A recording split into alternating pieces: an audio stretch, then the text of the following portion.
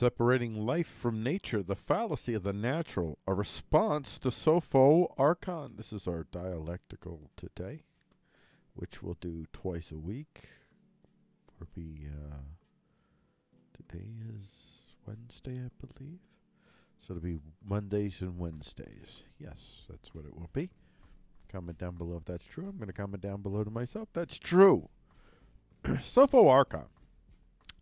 The writer of the article I'm responding to, called How Modern Life Separates Us from Nature, has made a proposition that, on its surface, seems straightforward. Modernity, modernity has stripped, separated us from nature. Here, let us present the excerpt as received from us by our sister site, wirewatch.news. Then I'll get back to the point I wish to make that might offer a a presuppositional starting point that could. Hmm. I'll just say, like I wrote here. Theoretically, theoretically, let's let's get you back up to Biggie Biggs.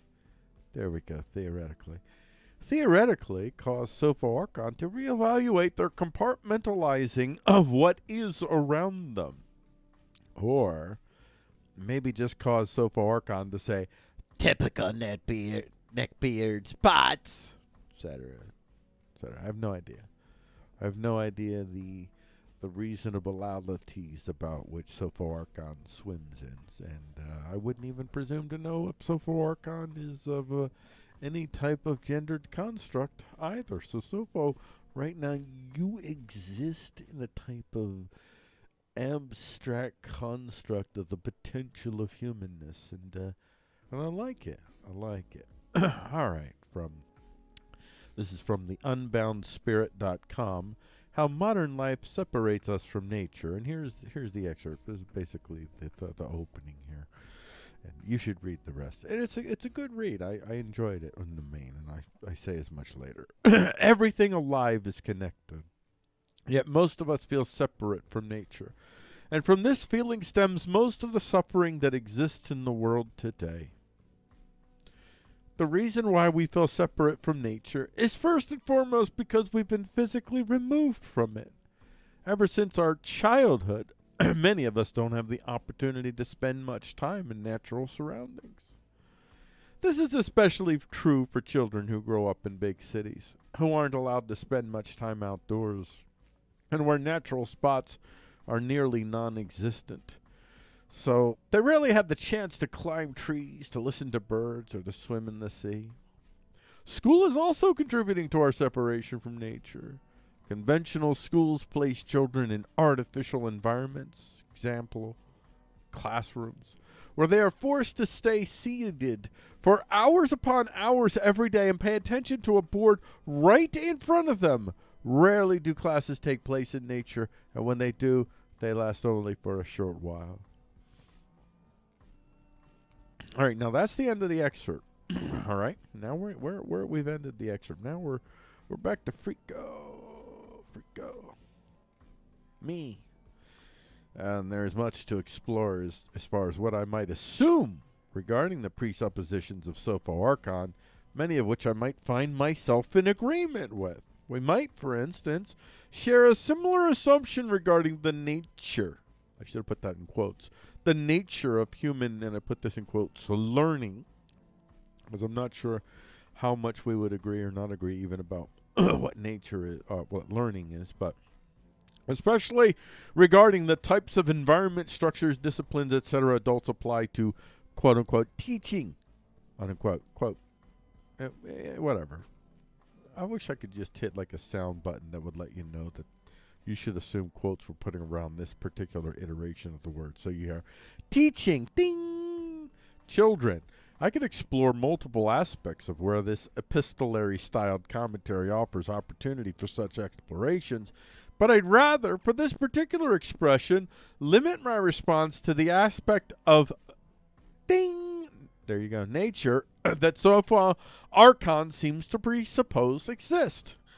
Nature is, for most of us, something apart from the majority of the world around us, and we seek after its presence in almost idolatrous, and, and I mean that in a metaphorical sense, not a literal sense, banners, and it not I'm not proclaiming any kind of religious heresies anywhere. We fetishize this thing called nature. we separate the doing from the being, so to speak. The being in this instance is the uh, is this ideological construct called nature, which exists outside the evils of human action, and sometimes can never be overpowered by the puny humans, and sometimes can be existentially threatened by the hum- puny humans. nature is good, man is evil. That which man made is not of nature, but of something else, something usually never named. It's it's not simply na- it's not it's simply not nature. we have terms to describe the family of stuff that this thing produces. Modern things, humans in boxes being told what to think, wars, murders, rapes, internet spam, Wendy's cheeseburgers. We call these things artificial, processed, chemicals, man made, simulated, etc. And all of these labels, labels have some degree of truth to them.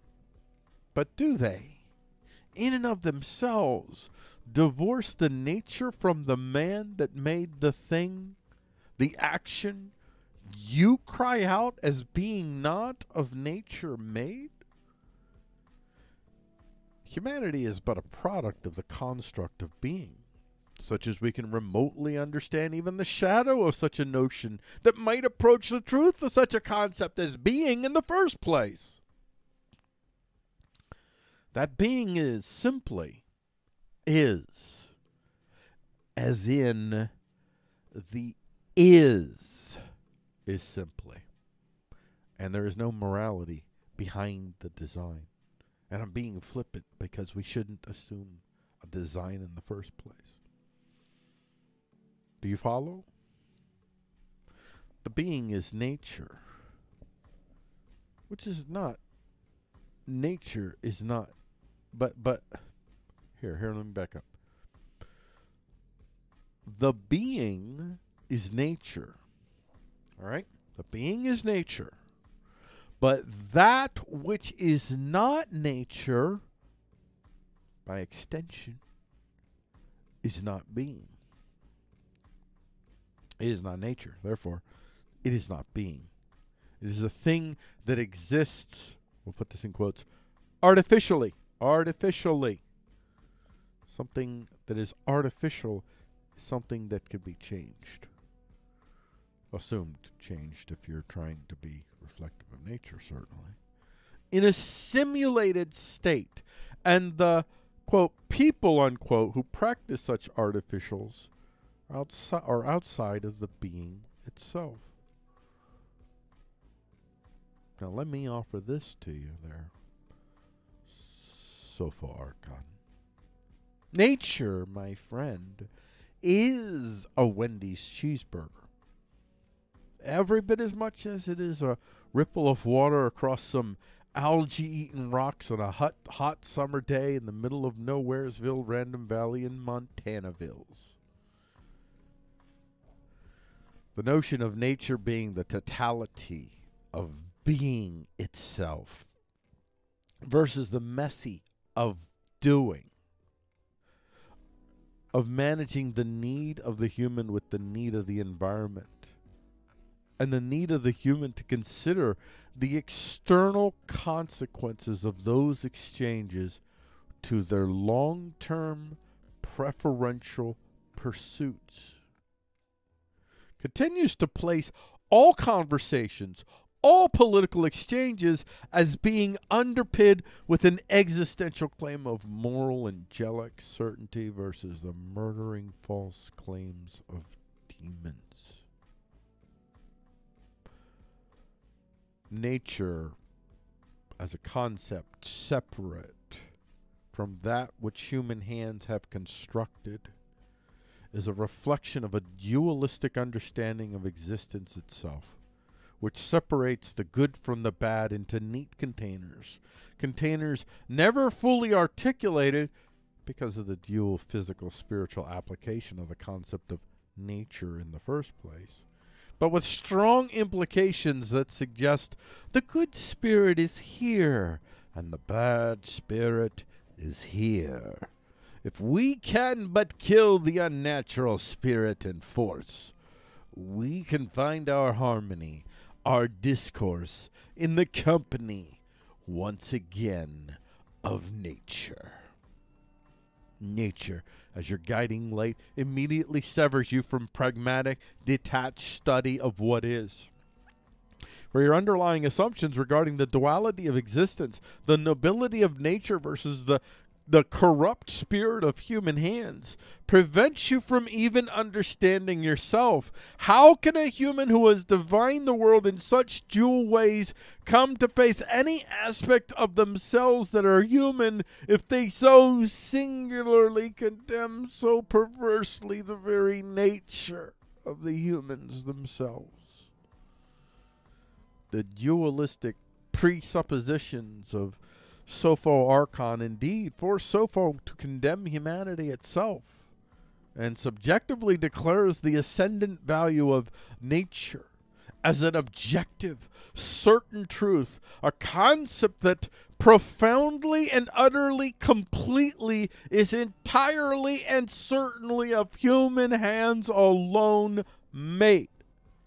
A human made concept of the capacity to assert universal value to all, overall, in the name of the unformed and vague nature, the divine master of the universe. Lost my place there because I just changed the thing to make it a little bit bigger for you. And in so doing, I lost my life.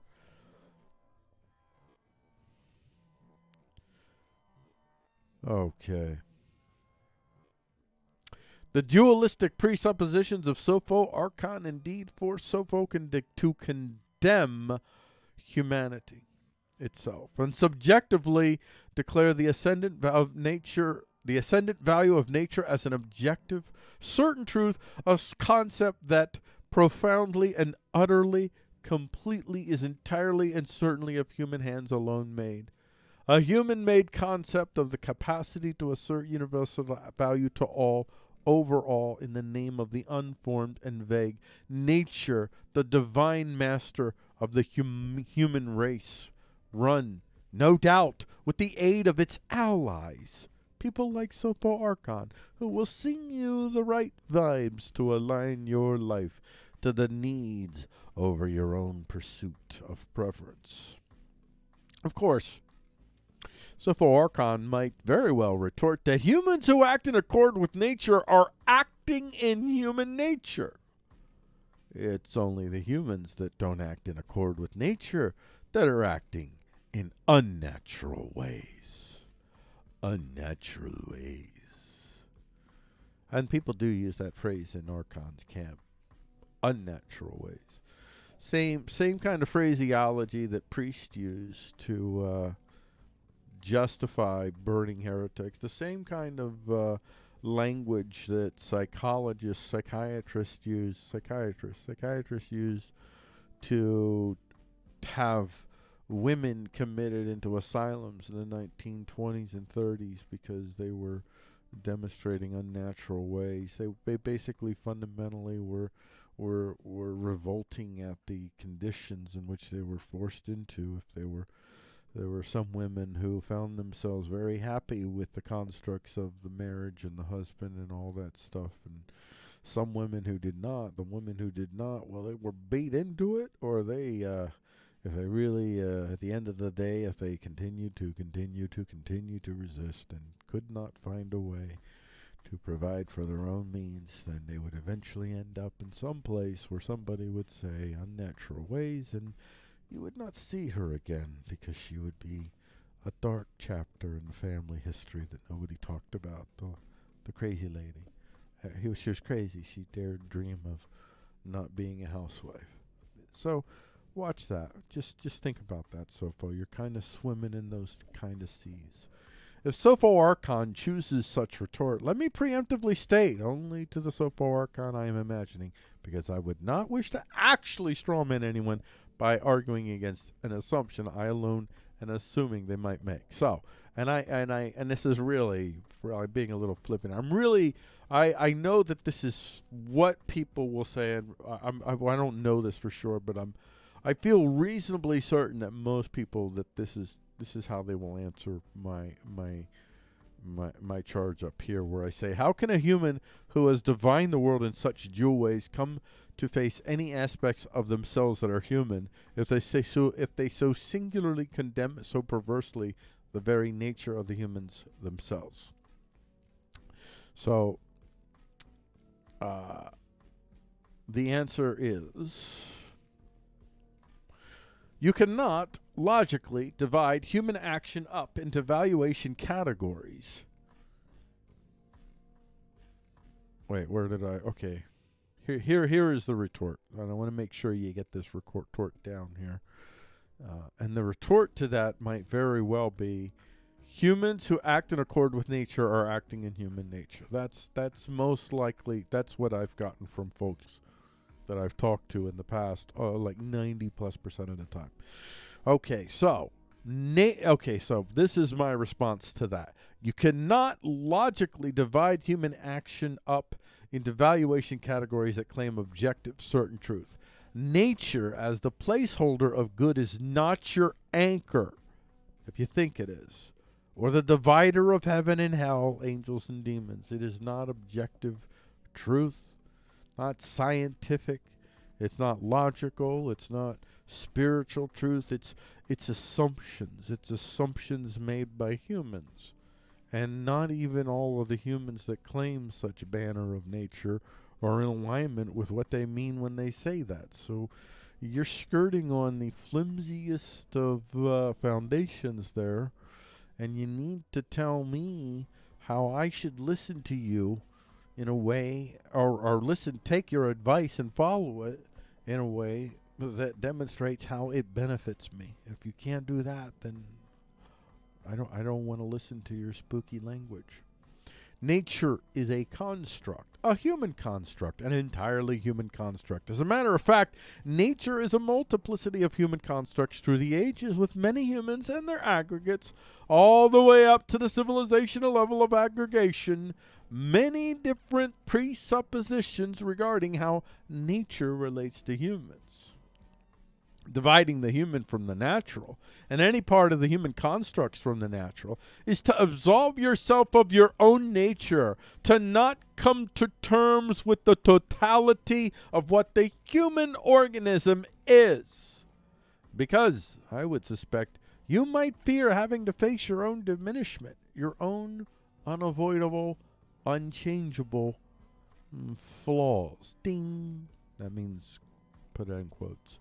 There's so much truth to be said in what you wrote, and on the main, I enjoyed what you had to say. It's a message I've been sharing for a long time in many forms, but it's but I stopped using words like nature long ago and stopped thinking of human action and fruit as being something different than wild horses grazing in wild meadows in any profoundly existential sense, which is what the concept of nature versus human creates in my humble estimation, a separation of our action from what we are, an absolving of ourselves in a powerful sin declaring tool against our neighbors, should we choose to use it that way. And we've won over or conditioned the masses to accept our terms of defining angels and demons by how they align with, quote, nature. A, divi- a divineness that from the start denies human agency outside of that which serves it. You don't really need the angels and demons creating concept of nature to call humans to what you really should if if your if your if your desires are really as I imagine they might be be calling them to understand the bloody cost of their pursuit of preference and how that affects their continued pursuit of preference But to strip yourself of the power to use fear of hell as a conditioner of thought and action would require years and years more and tons more resources across the board to, quote, win over, unquote, ding, people to the practical choice of being ecologically harmonized as maximally as thought and action in current year enables us to be. You chose and continue to choose, like most well intended ding activists before you, to deploy the same tools of manipulation used by the ones who created these institution institutions of, of nature eating power in the first place tapping into the archetypal nature ding of the human divide.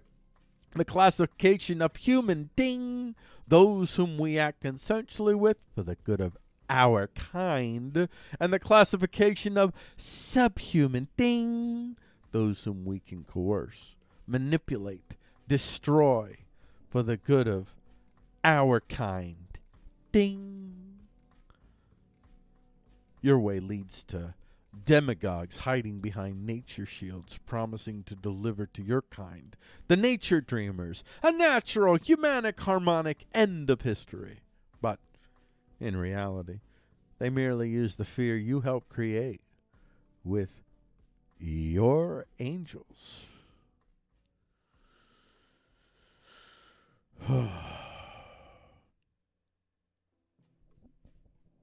and demons narratives. I, I got to back up because I lost my place there for a second. Your way leads to demagoguing, hiding behind nature shields, promising to deliver to your kind the nature dreamers, a natural, humanic, harmonic end of history. But in reality, they merely use the fear you helped create with your angels and demons narratives, along with the hope that well placed words in visually stunning displays repeated over and over again are alone enough to create. You could literally just use the word hope. That's all you need. You could literally just use the word hope.